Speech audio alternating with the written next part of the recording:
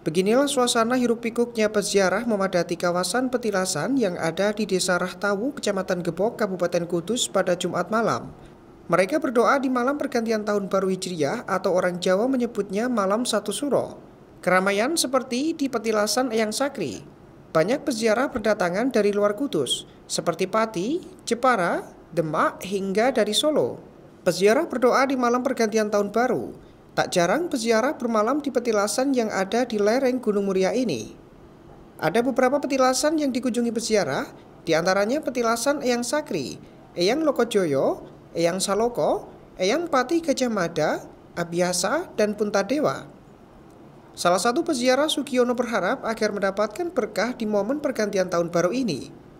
Demak, Bandung Rejo Meranggen.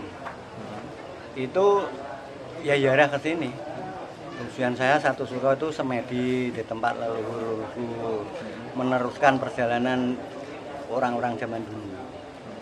Kita memohon pada Gusti Allah di sini memohon keselamatan, keberkahan ya, sama Gusti Allah.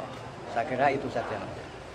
Pak kalau Sementara itu, Kepala Desa Rahtawu, Didi Aryadi mengatakan, banyak peziarah luar kota berdatangan di Desa Rahtawu saat malam satu suro ini bahwa pertama datang mereka adalah ke petilasan yang sakri, setelah yang sakri mereka ke yang Lokajoyo, ke Jogiling Salo, ke Pate Gajah Mada, ke Abioso, yang Pandu Dewa Nata, yang Kunto Dewa, yang Kesi, gitu.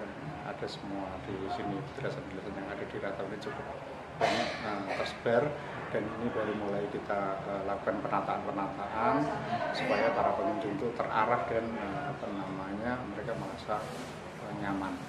Akan kami karena kami juga baru belajar pembenahan-pembenahan tentang eh, pelayanan kepada para pengunjung supaya mereka merasa nyaman datang ke Raktal. Dan, nah, karena ini adalah salah satu uh, kekayaan objek pariwisata uh, budaya yang akan kita uh, apa, pertahankan.